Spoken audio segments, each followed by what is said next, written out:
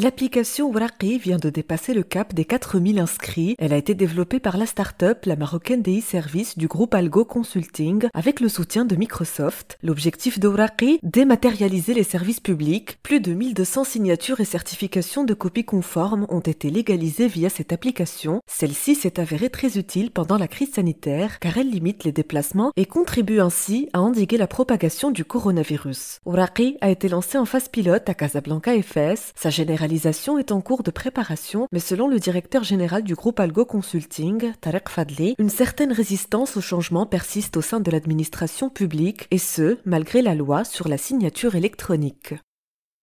L'opinion.ma